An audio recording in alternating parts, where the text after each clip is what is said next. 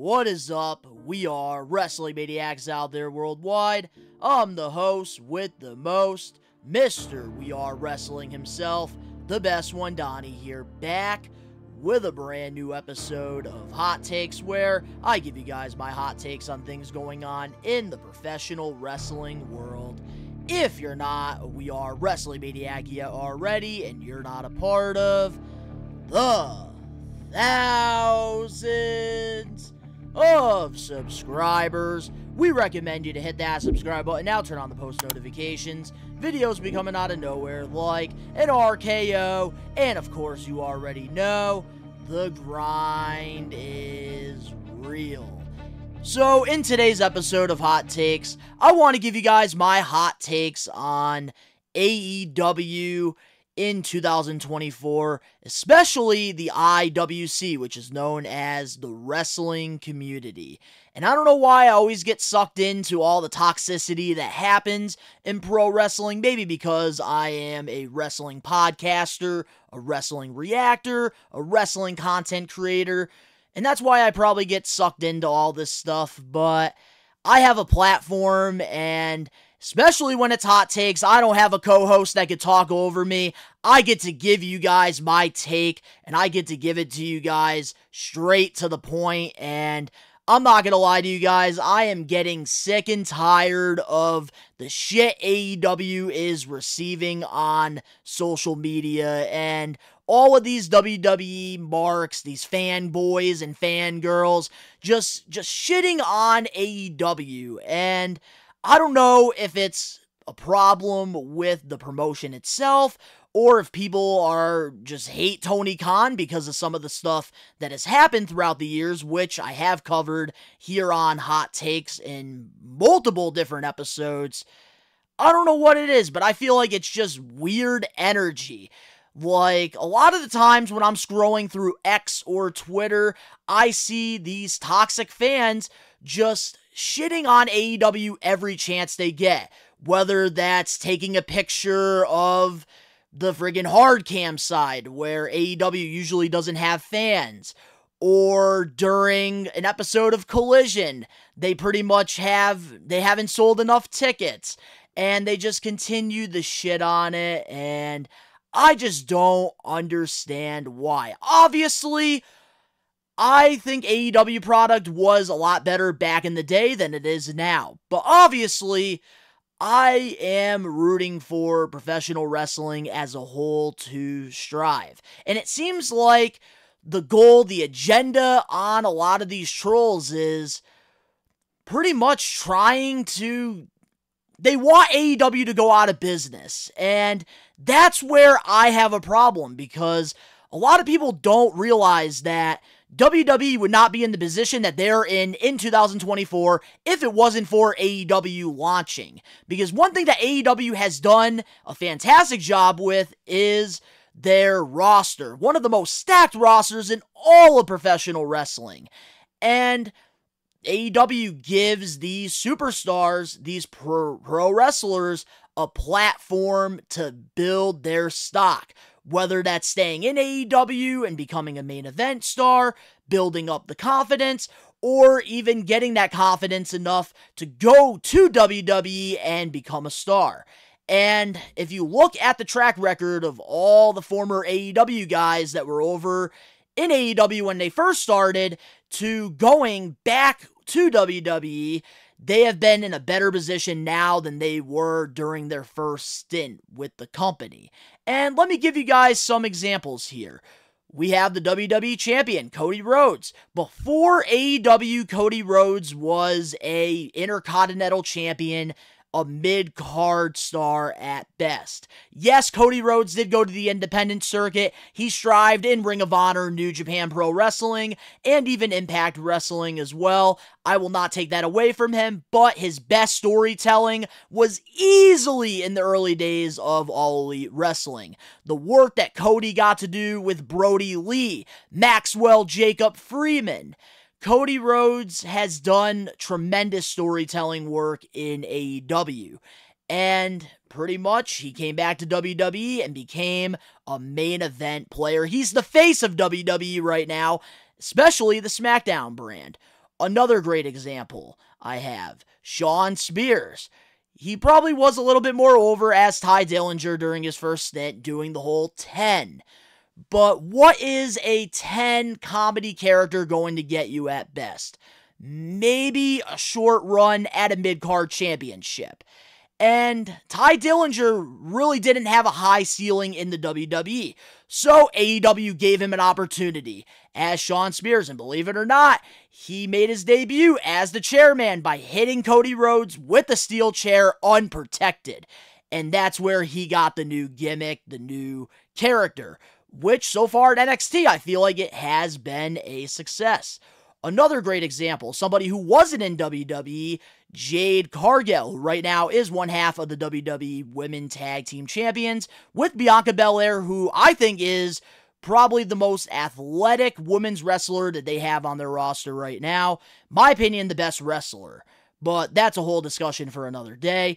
Jade Cargill, she had a tryout with WWE and she didn't end up going over there. Instead, she decided to go to AEW and build her stock up and she showed a lot of promise. So WWE, they ended up giving her the bag, and she didn't even have to go to NXT. She went right to the main roster and started teaming up with Bianca Belair. And I'm pretty sure going into 2025, WrestleMania 41, it will be Bianca versus Jade.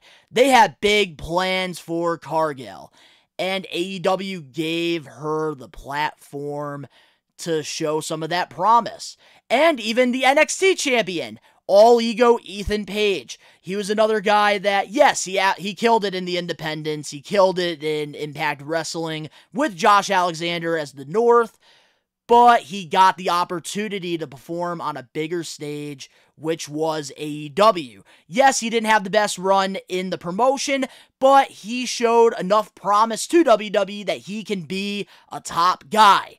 And literally in six weeks, he became the NXT champion, and he's the face of the white and gold brand. I can't call it black and gold.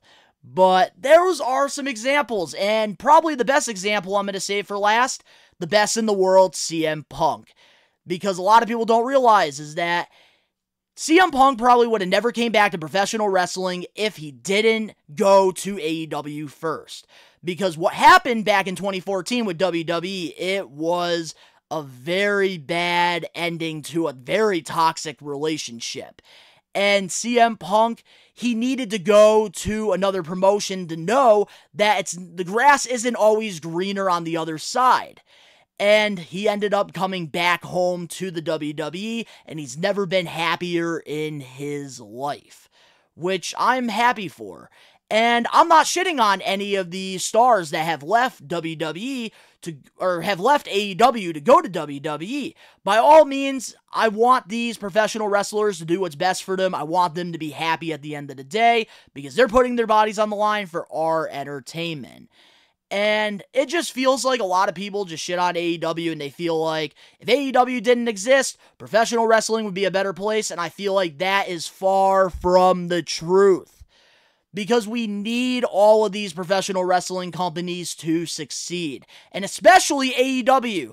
I understand if you don't like what's happening, you do have the freedom of speech to go out and express how you feel about the product. Hell, I have my own podcast where I will call out the bullshit on WWE, I will call out the bullshit on AEW, but I also will call out the good on both. And it just seems like there's so much tribalism in professional wrestling. Like there's some AEW fans that need to be held accountable as well that do the same thing. But I feel like the ones that are really just rooting for AEW to rot in hell, I feel like it's just, it's sad. It's pathetic, in my opinion, because whether it's because Tony Khan has done some stupid things during his run as the CEO and founder of AEW, or if it's just the lack of creative and not listening to the fans, or it's just completely shitting on the product. And that's where I have a problem because, by all means, if you don't like Tony Khan, you don't like Tony Khan. If you don't like the creative direction that they're going in, you don't like the creative direction that it's going in. AEW, they focus more on the stuff going on in the ring. WWE, they focus more on the storytelling. And me personally, I enjoy the storytelling more because I like a good, solid build up to a fight. And that's something that AEW, they do, but they don't do it as well as WWE. I am not against those fans that are criticizing AEW and they want to see AEW succeed. Because hell, I want to see them succeed as well. But when you're going out and you're posting a freaking picture of freaking empty seats in the AEW arena before the freaking show is on the air when people are literally going to the concession stands and they're going to the bathroom and they're going to the merchandise stand and when they're going arriving in the building that's where I have a problem. When you have Will Ospreay, which during this episode of Collision didn't have a lot of fans because a lot of people were waiting for AEW All Out. Just showing the freaking empty seats in the crowd in the arena. Like, what is that doing for AEW? Like, that is just what, or actually, that's not even it. What is it doing for pro wrestling? That is not a good look at all for professional wrestling. Yes, AEW needs to get better, but like every week when you're just consistently talking about the ticket sales, when you're consistently showing empty seats, what does that do?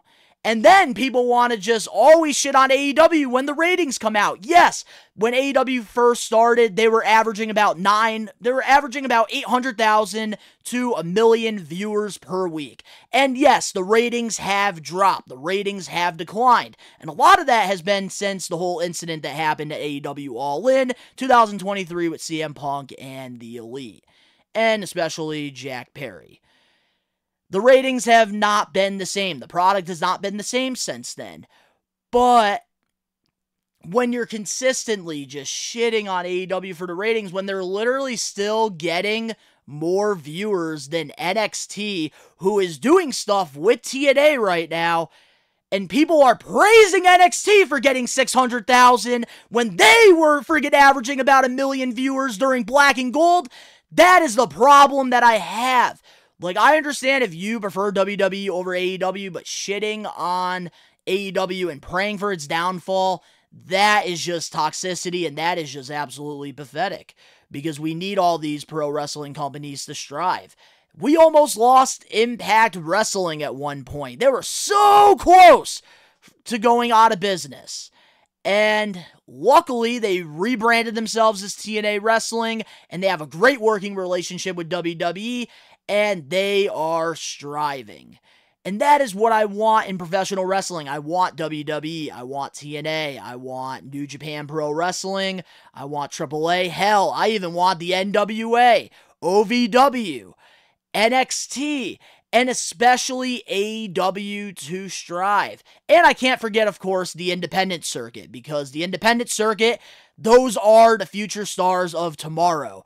And a lot of these future stars of tomorrow would have never gotten the opportunity if it wasn't for AEW opening up that door. Because you have to remember, going back into 2018, 2019, WWE was going downhill. Cre- tell, if you watch those episodes of Monday Night Raw and Friday Night SmackDown, you would know that WWE, it was a horrible time to be a fan. But when it's all said and done, AEW kind of pretty much lit a fire under WWE's ass to step it up. And that's the thing. Competition always brings out the best in everybody. And AEW, they were going after a lot of the top independent stars eh, all over the world, especially in the Northeast. How do I know? Because I live in the Northeast. I got to see MJF, I got to see Darby Allin, I got to see a lot of these guys and girls succeed before going to AEW. And around that time, WWE, they were focused on crafting their own superstars. They weren't really going after guys in the independents. They were going after athletes, which they still do to this day, but now under Triple H, they are looking at more independent wrestlers, which is a great thing for the business as a whole. But having another top promotion like AEW It's a great way to friggin' establish new stars in the business and even stars that did everything they could in WWE. Cough, cough. Adam Copeland and even Christian Cage, like they're able to go to AEW and have another alternatum. And that is always good for professional wrestling because even during the Ruthless Aggression era in WWE and even the PG era, we had TNA Wrestling, which at the time they were averaging about 3 to 4 million viewers a week on Spike. And it was a great time for pro wrestling because eventually we got to see AJ Styles, we got to see Samoa Joe, Bobby Roode, Eric Young. All of these OG TNA guys get the opportunity to go to WWE and do something. And that, especially being like a TNA um, diehard fan, that was really awesome to see. So, as a whole, like having all these promotions, it makes the business better. And for people to just continue to shit on AEW every chance they get, it's just pathetic. It's just sad. If you don't like AEW, you don't like AEW. Move forward. Like, why are you wasting your net? Why are you wasting negative energy on something that you have no control over? Like, here's the thing a lot of people think that AEW is going to go out of business. We hear it every year. Up, 2024, AEW is going to have to file for bankruptcy. And that is far from the truth because that's the thing. Tony Khan has made, Tony Khan is a billionaire. And Tony Khan has the money to fund all elite wrestling. And you can tell by, if you watch any of his interviews, if you watch any of the media scrums, you are at an AEW show and you you watch Tony Khan come out and cut his little promo 90 seconds before the show goes live on TBS or TNT, you can tell he is a fan just like us when it comes to pro wrestling. And I understand he's done some really stupid shit. I've covered it multiple times, multiple episodes of Hot Takes. But at the end of the day, like, we got to think about the wrestlers. Because at the end of the day, this is get AEW is giving more talented men and women opportunities. They're giving them jobs because there's only so much time WWE has on television. WWE can't have everybody. You have three hours of Monday Night Raw. You have two hours of NXT. Hell, you even have like three minute speed matches on X or Twitter. And you even have SmackDown, which is two hours. And remind you, the PLEs, they are dropping with lesser matches for WWE, with only five or six matches on a card and there's only so many spots. So to have AEW another alternatum out there, it's just giving more guys and girls who are very talented job opportunities to entertain. And that's the thing, there's a difference between sports entertainment and professional wrestling. And obviously, most of us, we enjoy the sports entertainment because we get glued to these larger than life characters. We get glued to we get glued to the storylines that build up these matches that we look forward to. While AEW, the, the stars are out there, they're great, talented professional wrestlers, and they're focused on getting five star matches and just putting on great matches in the ring. And there are some fans out there that appreciate that. I appreciate it, even though I do prefer the sports entertainment route and I prefer what WWE does more than AEW. I still am a fan of the sport in the ring. And I feel like when the IWC just continues to shit on AEW, it's like you're shitting on other people enjoying something. And what is fun about that? To me, that's just bullying. That's fucked up. That is just wrong. And at the end of the day, like, I think right now wrestling is striving. Like, what a time to be a pro wrestling fan. Like, why is there so much negativity in the IWC? Like, earlier today, guys, I was on X, and I'm recording this on a Friday, by the way. This is coming out on um, Sunday after the All Out watch along, which if you're a part of that, thank you in advance. so this one tweet really stood out to me and gave me a reason to make this episode of Hot Takes. And this account is her name is Andy Annie, and she posted this, and I quote. I just got called a fake wrestling fan because I don't listen to wrestling podcasts. I hate the term fake fan. If someone watches the product, they're a fan. Just because they don't live, sleep, eat, and breathe, it doesn't make them any less of a fan. And that to me is just very accurate. Like, why are we shitting on people, especially casuals, who are enjoying the product? Just because they are not obsessed with it like us, we are wrestling maniacs, doesn't make them any less than us. Because at the end of the day, if we want wrestling to really boom, like it did in the Attitude Era, like it did in the early 90s with these larger than life characters, we need casuals.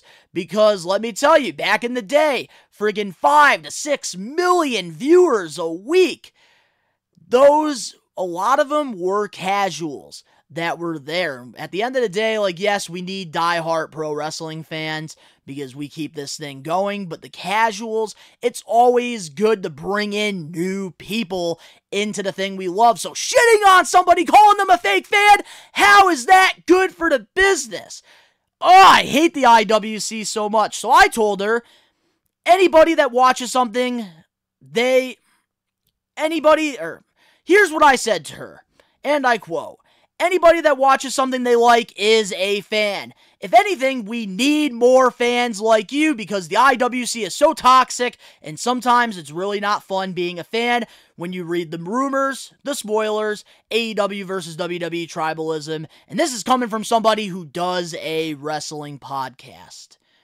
And it's just to me like the IWC, like, I feel like social media has really just brought out the worst in so many people. And that can be said, like, anything outside of professional wrestling. Politics is very toxic, basketball, football, all sports.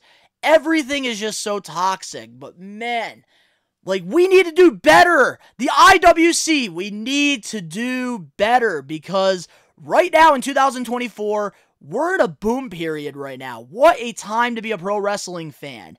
And it's great to have all of these options out there. So we shouldn't be shitting on people who enjoy AEW. If you're one of the thousand that are in an arena that you could fill up to 10,000, just let them enjoy themselves. Let them have a good time. There's no reason you should be shitting on them. There is one more thing I do want to add before we close off this episode of Hot Takes. I'm not telling you you don't have the right to have an opinion. You're allowed to like whatever you like. You're allowed to dislike whatever you dislike. And that's the thing. Like with AEW, it isn't the same. I prefer AEW back in 2021 a whole lot more than AEW in 2024. Yes, I still enjoy AEW as a company, but yes, there is things I don't like about it. No promotion is perfect out there. And yes, even WWE, they are not they are far from perfect. And the reason why people don't talk about a lot of the cons with WWE is because everybody's negative energy is all towards AEW. But we're all allowed to have an opinion. We're all allowed to like whatever we like. We're all allowed to dislike whatever we dislike. But what I want you to do if you hate AEW, you absolutely despise it, you want them to go out of business, you want Tony Khan to rot in hell, I want you to tell me five good things about AEW. And that is the argument I always have with the WWE marks. And that's the problem with this entire world, especially the IWC, is that we're so close minded. And I feel like in order to learn, in order to strive, in order to grow, you need to be able to learn and adapt and you need to be open minded. And that's the thing. A lot of the times, these trolls and these fake accounts with no profile pictures, they can't tell you those five good things because at the end of the day, their intentions are they want AEW to go out of business and they will do everything in their power to just absolutely hate hate it and just just continue to breathe negative toxicity that we don't need in the IWC. And at the end of the day, that's pretty much how I feel about the IWC. Like, I understand. Like, you're not going to be a fan of everything. Like, we would be boring ass people if we all liked the same thing, if we all were wearing the same thing, we were all doing the same thing this would be a boring world we live in. But why do we have to be negative? Why do we have to be toxic? There's so much bullshit that we deal with in this world, and it just baffles me friggin' how toxic friggin' pro wrestling fans are. But that is it for my rant on this week's episode of Hot Takes. It's been, I can't believe, four months since I last did an episode here. And that, I promise you, will not happen again. We are not going on a hiatus because I miss doing this shit. So let me know in the comment section below your thoughts on the IWC, your thoughts on some of the stuff I said. Is there things that I'm missing here? Because when it comes to hot takes, I don't like to read a script. I just like to just shoot the shit, repeat myself, and just talk. Yap, yap, yap. So let me know in the comment section below your thoughts on all of this. If you enjoyed this and you guys want more episodes of Hot Takes, make sure to smash that like button now. If you're not a We Are Wrestling Maniac yet already, subscribe, turn on the post notifications, check out the newest episode of the We Are Wrestling podcast. New episodes are coming out every Friday. And if you are a part of the AEW All Out watch along, that already happened by the time this is out. Thank you. I do appreciate you guys coming into the live chat, hanging out with me, watching some good old wrestling. Links down in the description below. You can go follow me over on my social medias and my toy channel at Best One Donnie. All the links down below. And of course, to all that we are wrestling maniacs out there worldwide, we are taking over.